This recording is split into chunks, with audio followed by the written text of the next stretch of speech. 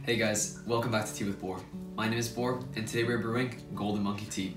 In this episode, I'll briefly explain what is Golden Monkey Tea, then I'll show you guys how to brew it, and then finally, we'll do a taste test. Let's get right into it. To begin with, Golden Monkey Tea is a black tea originating from the Yunnan and Fujian provinces of China. It has a lot of characteristics, but a few main ones are that it's only picked from the bud and first leaf of the tea plant. So I'll give you guys a visual to explain what that means, what's important to understand is that the younger and fresher uh, tea leaves have a lot more flavor and are considered better quality than the older, larger leaves. And as the name suggests, golden monkey tea has many beautiful golden leaves and buds, as I hope you can see. But yeah, that's the golden part of the name. The monkey part is actually an interesting story.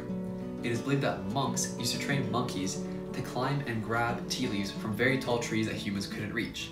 Now, unfortunately, there isn't much evidence this, and trust me, I've searched all of YouTube, but I couldn't find anything. So, it may not be true, but at least it's a cool story. This particular golden monkey tea is from the Fujian province of China, and the smell of the dry leaves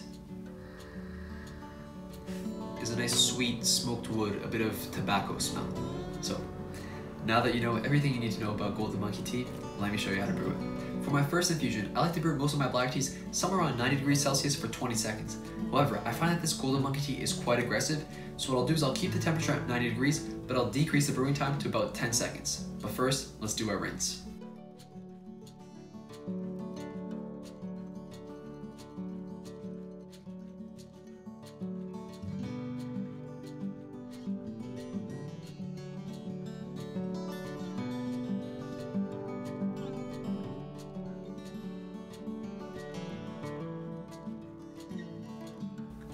Okay, our rinse is done. We are now ready for infusion number one.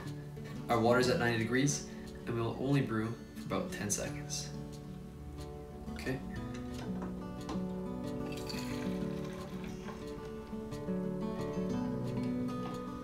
Sorry, I forgot to show you guys up close, but yeah, make sure all that liquid is out and give our lid a smell.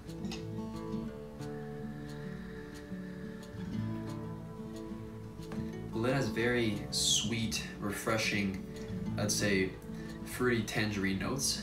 Now let's see how the leaves smell.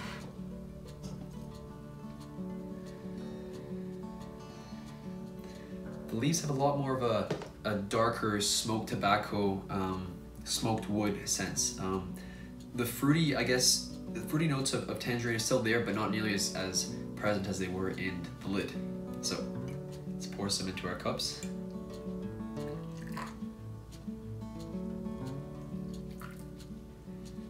Then wait a few seconds.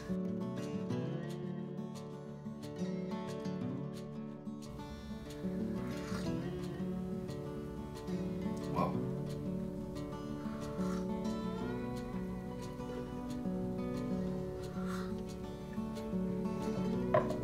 Very strong, vibrant notes of, whew, I'd say mm, a dark apricot, mm, smoked that, that smoked taste is there, if that makes sense.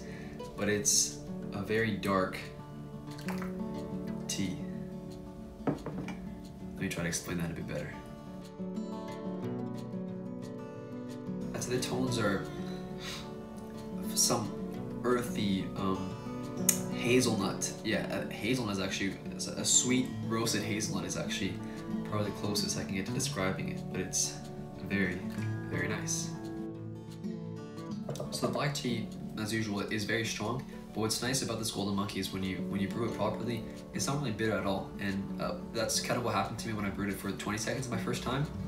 I noticed that I was getting some very uh, strong bitter notes, but now that I brewed it only 10 seconds, it's a very delightful tea. Okay, I'll finish my first infusion and we'll skip to infusion number two.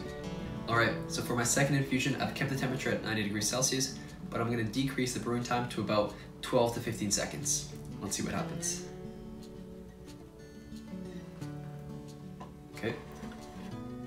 Fusion number two.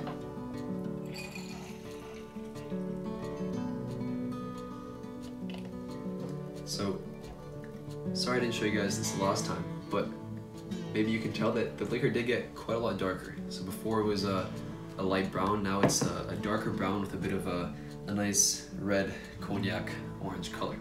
So make sure the liquid is all out. And now let's give our lid a smell.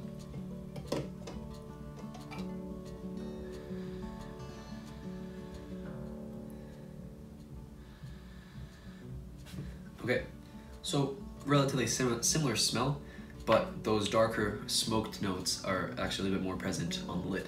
Now, smell the, dry, uh, wet leaves.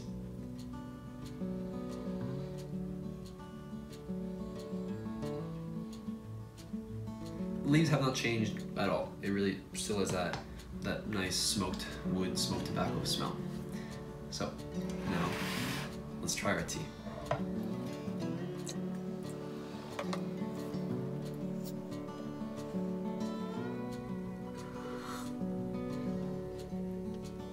Interesting. So I'd say actually, uh, I'm surprised. The uh, the smoked uh, smoked tobacco notes in the taste have actually diminished, and the fruity, sweeter notes are coming out a lot more. So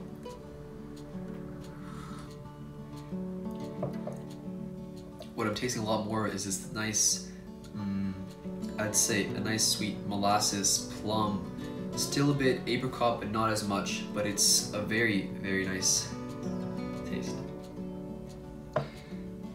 The texture of the tea is actually quite thin, which is surprising because Usually a darker colored liquor suggests that the tea will be thicker and more viscous, but here it's not the case. But yeah, it's a very, very good tea. And as I finish my second infusion, we'll move on to infusion number three.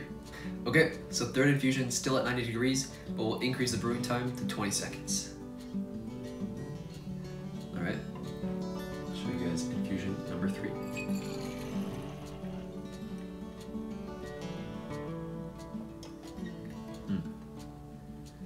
So quite a similar color to the second infusion. If, if I were trying to make a distinction, I'd say it's slightly more on that brown color rather than red, but very similar color.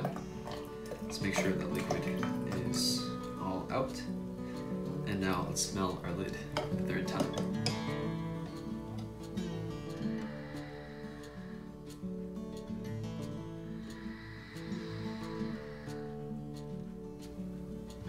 Once again, it's similar to the second infusion, so and the first as well, but um, less on those smoky tones and more of that sweet um, plum honey uh, kind of sweetness. So now let's try the wet leaves.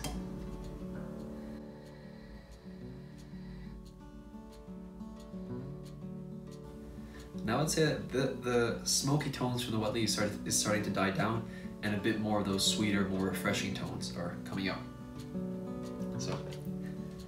Pour some into our cups and try infusion number three.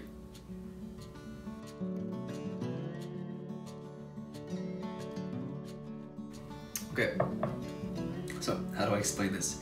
It's it's getting sweeter, surprisingly. Um, the more actually seems the more I brew it, I mean, this also depends on the infusions, but I'm actually getting sweeter tones as I keep going forward. So it's, it's actually kind of replicating the smell. Um, less on those smoky, darker tones, and more of that sweet, fruity, and nice kind of honey, plum, um, apricot taste. So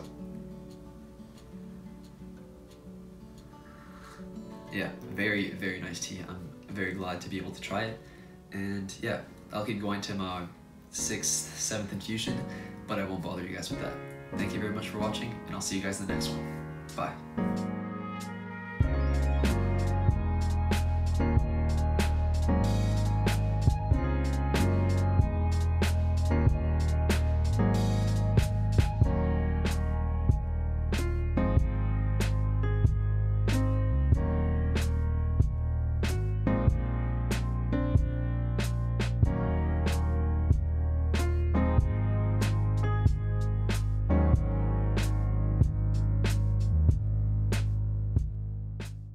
Hey guys, so you may have noticed that I'm filming from a new location now, and I'm not exactly used to everything, so I feel like the video isn't as good as I'd like it to be, but that's okay.